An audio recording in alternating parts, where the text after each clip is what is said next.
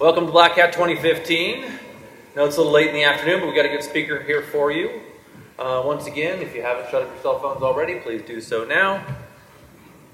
And without further ado, I'd like to welcome you to Mandalay Bay BD. This is Optimized Fuzzing IO Kit in iOS. Please welcome Lei Long.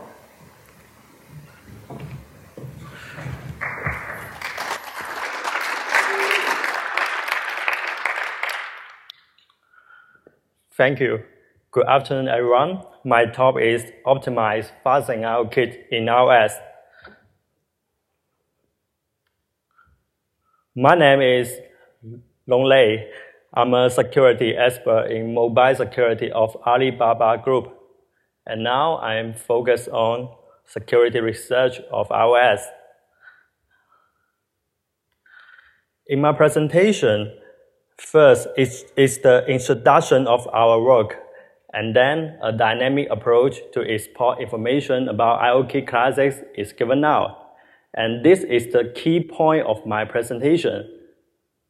And then, based on the extracted information, we also craft an application to fast IOKit in iOS. And at last, I will show several vulnerabilities as a result.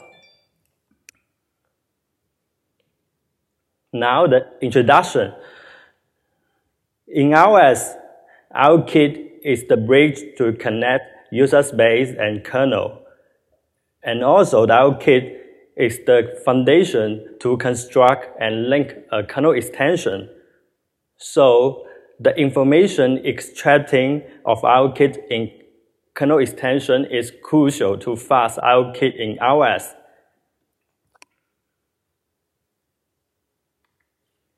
In previous research, information extraction is mainly focused on iOS I.O. external method dispatch and relies on status IDA analyze. However, it has several disadvantages. First, it requires S method simples, but S method simples have been removed from kernel cache since iOS 7. And also it requires a decrypted kernel cache. But even with decrypted kernel cache, there are still a lot of instructions cannot be resolved in the IDA.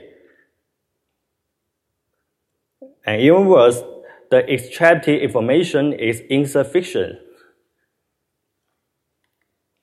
And now, our work is based on uh, dynamically kernel read and write, and we uh, can extract not only our external method dispatch, but also our external method and a series of runtime information.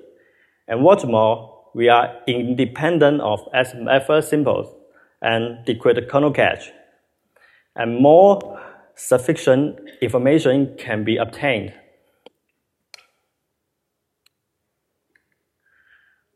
Before our work, there are two prerequisites listed here. You need a jailbroken device and task for PID 0 kernel patch.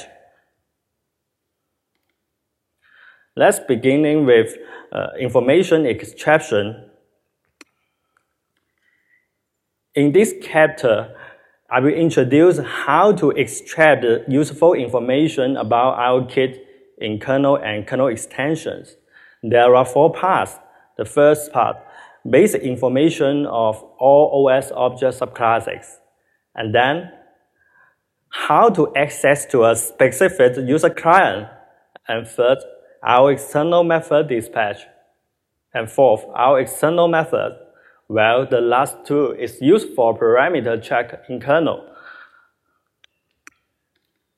Now the first part of information extraction, basic information The first question is, what is the basic information? It is the information of all OS object subclasses, and it includes class name, vtable star address, virtual method, and its vtable offset, symbols of overwritten virtual methods, instance size, and inheritance relationships. Here we take a class for example.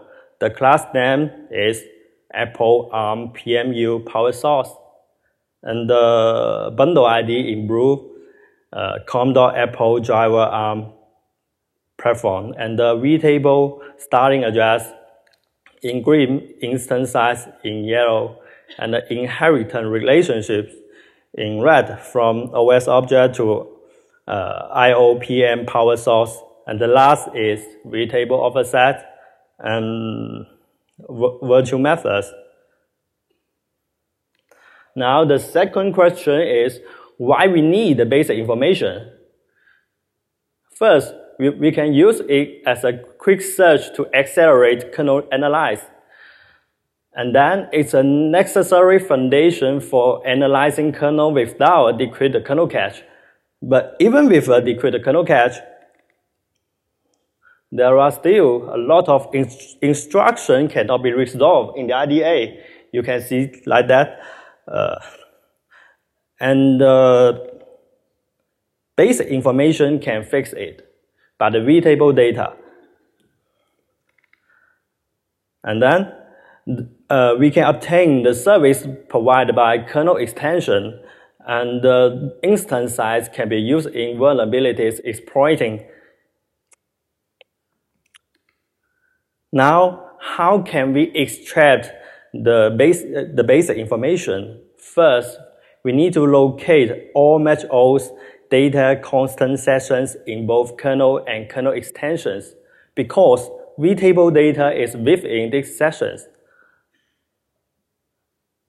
And then we need to pick out the vtable data from these sessions because, uh, by its layouts and characteristics. Now the vtable layout. vtable is a series of continuous some virtual methods address. So the address must be in the range of text segment or pre-linked text segment and there are at least 14 continuous address because OS object has 14 uh, virtual methods. And at last, the number zero virtual method is following at least four or zero bytes. And now the vtable's characteristic.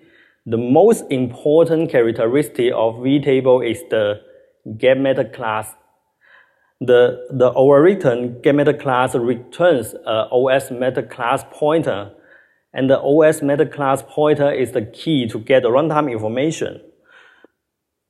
So, if we can identify the method class address, then vtable is filtered out. Next, I will introduce how can we identify a method class address. Look at the definition of method class. It defines in OS define method class and structures macro. So the implementation of get method class in different classes is totally the same, which is the foundation to dynamically resolve and identify this function. And then inside implementation, GMeta class is the key to get runtime information. Next, I will introduce how can we resolve the GMeta class in kernel and kernel extensions.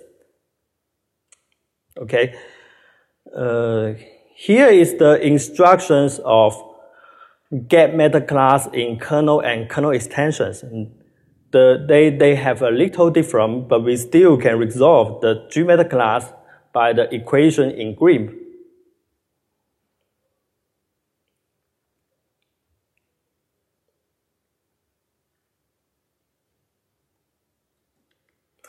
After locating GMeta class address, now, now uh, next is using it to get the runtime information. In GMeta class layout, what we concern with is superclass length class name and class size with the offset AC and 10. Sorry.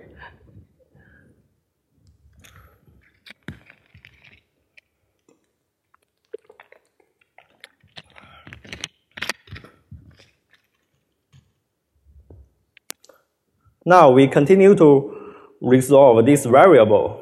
First is class name. Class name is an OS symbol pointer, and in OS symbol layout, it defines length and string, and they can form a while class name together. And the class size is an unsigned int. The superclass link is an OS meta class pointer. So we can use it transfer backwards to OS object and we can get all the inheritance relationships. By now, we can pick out all vtable data by identifying uh, get meta class, but still, but we still need to know whether the kernel extension can provide some specific service or not. For example, in order to provide the service of IO Connect set properties, the kernel extensions service need to override set properties because the default implementation of set properties in SNU is totally empty. So we are concerned is some specific interface is overwritten or not.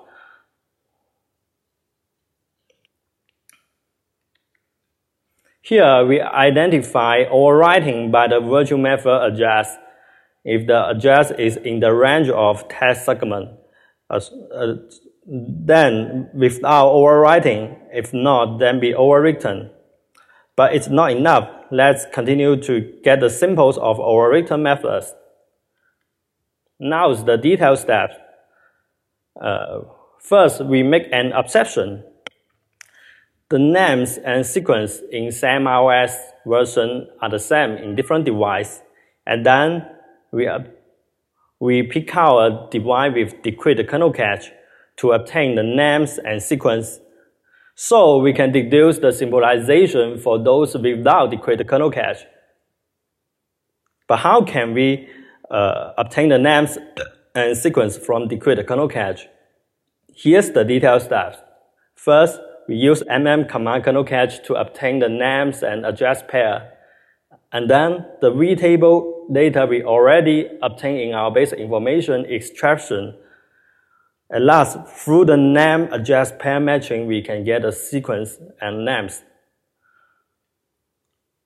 By now, we can get the basic information of all OS object subclasses. Now, the second part of information extraction. How can we access to a specific user client? By now, uh, we can get all OS object subclasses, surely including all IO user client subclasses. And now we need to access to this user client for example, in order to access to IOPKE accelerate user client, we need a service name Apple Samsung PKE and the open type 0. But how can we obtain this information? Here is our approach to access to a specific user client. First, input the service name S1 and then after IO object copy class operation, we get the service name S2. And we try a lot of open type in a limit scope. If a client is open successfully, then we retrieve the client name C1 in kernel through the client MAC port and client address. Now the triple C1 S2 open type is the access info we want to export. So with the access info, we can access to a specific user client. And now the detailed steps. Uh, first, we, obt we obtain all service name as S1, but OS KEST load KEST in Ford expand the same as 8.1.3 so we can't get the service name directly. But we can get them in our base, basic information extraction. And then we try all the open types from 0 to FF, as most clients use these open types. In a few open type out of this scope, we need to locate the overwritten new user client address and then to analyze it to get the open types. At last, we retrieve the client name C1 in kernel, but MacPorc K object is also banned the same as 8.1.3. Here we do find another interface, MacPorc space info to retrieve it. Unfortunately, we uh, we can get the client address directly by using MacPorc space info, as instead we can get the IPC port pointer. And here's the detailed steps. After connect to a client, we can use MacPorc space info to get the IPC info name table in the current process. And then we compare its, its each IIM name with the client port name. If equal, then the corresponding IIM object is the obfuscated IPC pointer. Since the address is obfuscated, we still need to use VM kernel EPROM to subtract it. VM kernel EPROM is a, a global variable and used many times in kernel. Next, Uh, I will introduce how to get the VM kernel EPROM and the real IPC port pointer. Here, luckily, we define a function while virtual. It uses a Unix string and VM kernel EPROM macro. So we can identify, we can locate the VM kernel EPROM address by locating the Unix string address. Uh, after locating the, un- the, the VM kernel EPROM address, we can finally get the IPC port pointer. Mm, and next, I will introduce how can we retrieve the client name via IPC port pointer.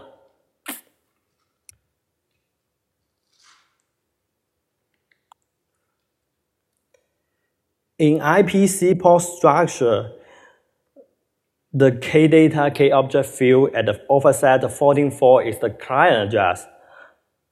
And then we retrieve the client name while the client address using the approach in our basic information extraction. First, get the vtable address and then locate the get meta class address and then G meta class pointer. And finally, we get the client name. So by now, we can get all triple access info. So with the access info, we can access to a specific user client.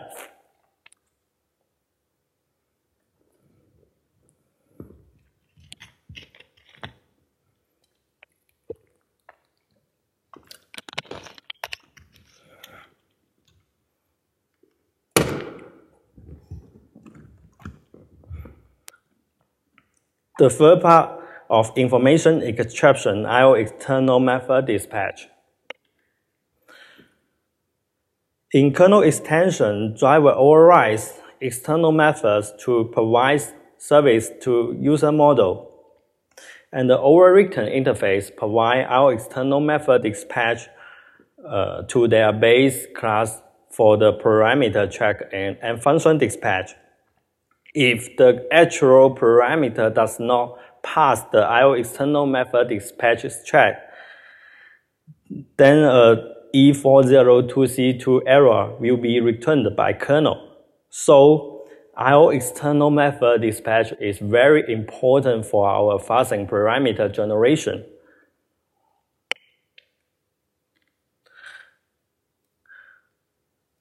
How can we extract the IO external method dispatch? Here's the, the four steps. First, we narrow and determine the searching scope. And then we match the IO external method dispatch table's characteristic in the searching scope. So we can locate the IO external method dispatch table's starting address. And then we dump the whole table. First is the our external dispatch table's characteristic. In a IO external method dispatch structure, it has five fields. Uh, the first is function. So the function should be in the range of text segment or prelim text segment. And the other four used to define the data length of integer or structure. So they should be in the range from 0 to FF, FF. Or AF means any length is okay. And then we, we make the table length should be greater than 2 to make the characteristic more stronger. So with the characteristic, we can identify and address whether it is the dispatch table's starting address or not.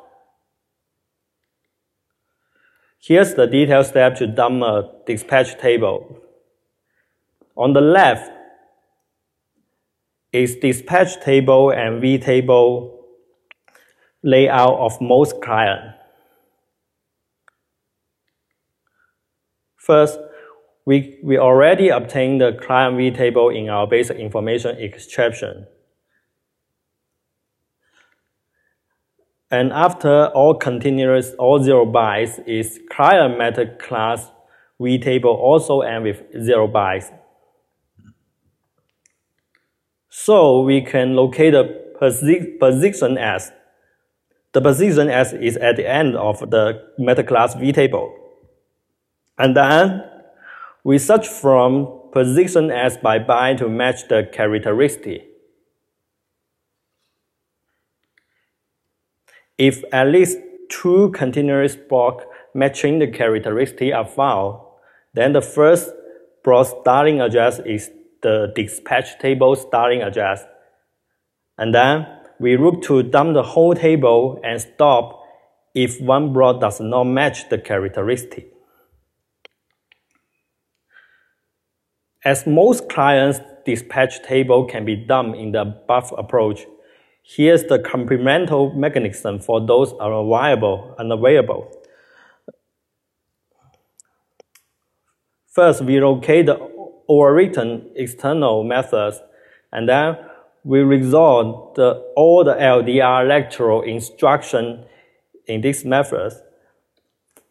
And we check each corresponding address whether it is the dispatch table starting address or not. If yes, we dump the table.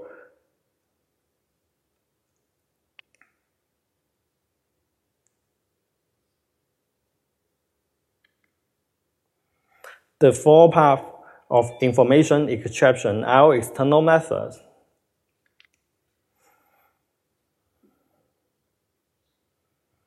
IO external method is a, a, structure similar with our external method dispatch.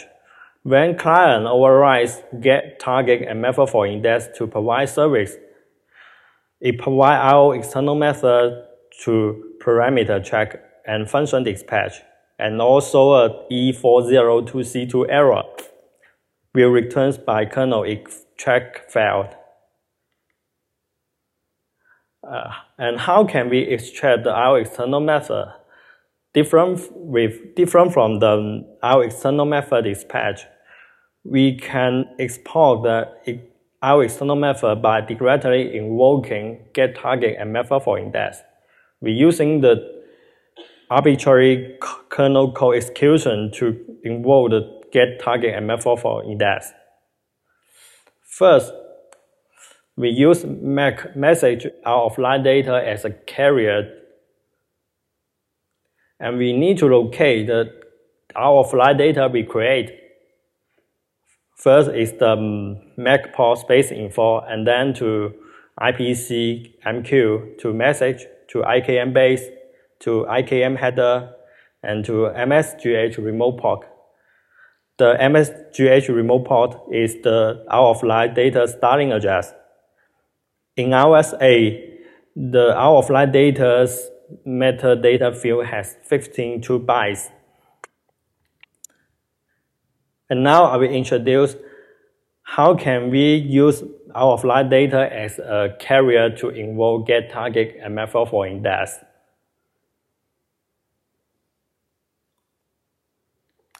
First, we craft a gadget client instance. and set its vtable point to the fake vtable data in our offline data. And then the phase get external trap for index points, points to return index ARM instruction in kernel test. Before invoking, we set the payload in 8 bytes. The first 4 bytes point into the target client A, and the last 4 bytes point to the target client A's get target and method for index. And then we use IO connect trap 2 to get our external methods address. Here's the parameters. We set the connect to the gadget client MAC port. And the index is the payload starting address in our out of line data. P1 is a writable kernel address in our out of line data. And P2 is the IO external method table index. So we can get the whole IO external method table by calling uh, IO connect trap 2 with different indexes. But now, all the contents of information extraction is given now. And next is use the information to craft our fuzzing application.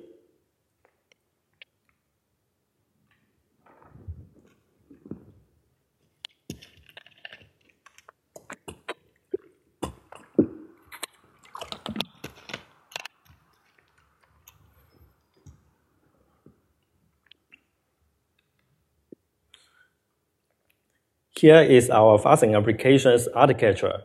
It is based on iOS launch daemon, so it can be invoked by OS on device booking. And then it includes first the panic log corrector. It corrects the panic log with the corresponding fuzzing parameter. And then the Springboard auto unlock. It unlocks the device automatically when device booking the deadlock monitor and slow monitor used for improve the fuzzing activity. And the whole system can be run without humans interaction. Before we fuzz, we still need to know which interface is available in the target client. Here's the fuzzing elements. If the client overwriting client memory for type, then we can fast IO connect MAC memory. If the client overwriting one of external method, get target and method for index, or get external method for index, then we can fast IO connect call method. If the client overwriting set properties, then we can fast IO connect set properties. If the client overwriting one of get, get target and for index or get external for index, then we can fuzz IO connect trap. And also, uh, we need to identify the unavailable interface to avoid low fuzzing activity and frequently and panic.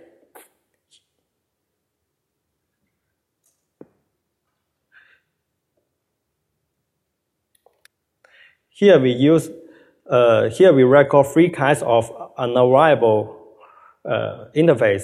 First is invisible panel interface and deadlock interface, slowly processing interface. Now we can do the real fast. In the research, we discovered that uh, a lot of interfaces are dependent in the invoking sequence. So we call this letter in a random sequence to avoid dependence. And what's more, some other interface such as properties, memory map, and trap, we also add into the fuzz randomly.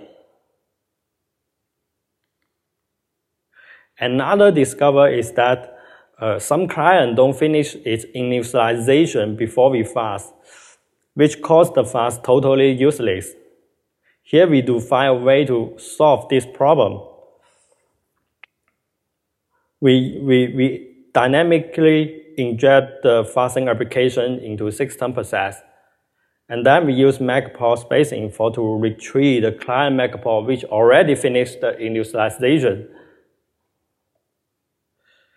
So we can fuzz it. After fuzz is our experimental results. Here's the ex experimental setup. We test on iPhone 4S and with the iOS 8.1.2. And next, I will show two vulnerabilities as result sample. The first one, function free in IO data queue. Inside the implementation, queue size can be modified in user model and it will be passed to IO3 align directory without any check.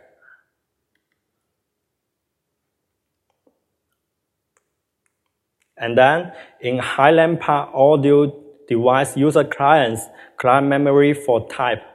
When type is 14.4, then it will create a IO data queue to share memory with user client. So it may cause the buffer in KLOK June 4096 can be released into bigger KLOK June. Well, it's a typical buffer overflow vulnerabilities. It may can cause two kinds of panics. The first one, unavailable address to read and write to, and a free June elements has been modified. However, this, this bug has been fixed in iOS 8.3. And the second one,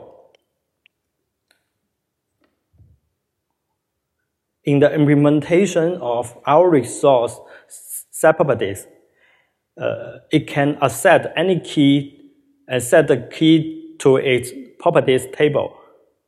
And our resource is inherited from our service.